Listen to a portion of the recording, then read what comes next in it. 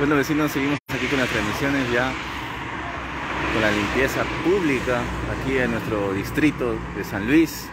Ya desde las 6 de la mañana están trabajando nuestros amigos de áreas verdes y limpieza pública. Como vemos, ya estamos ya en la avenida Riola. Estamos aquí ya, como vemos, horas anteriores de la mañana. Todo esto está hecho en basural la cual ya los trabajadores están ya poco a poco solucionando este problema que es de la basura.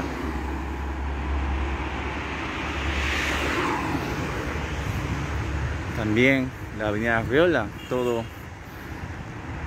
como vemos en imágenes, lo de al frente ya se ha limpiado la mayor parte y van a seguir con las siguientes avenidas y los siguientes puntos de acumulación de basura.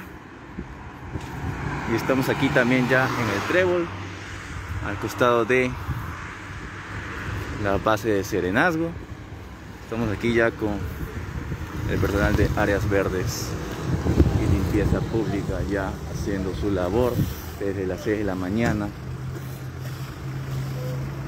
liderado por nuestro alcalde Ricardo Pérez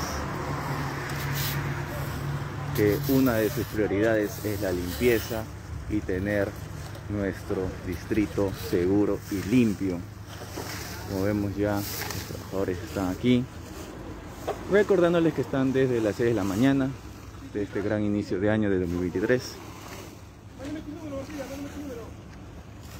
Como sabemos, horas anteriores de la mañana, esto estaba, estaba hecho un basural y ahora ya está más limpio y posteriormente estará sin basura para el querido distrito. Juntamente también comentándoles que nuestro alcalde Ricardo Pérez ha proporcionado desayuno a cada uno de ellos. Bueno, seguiremos transmitiendo en breve momento.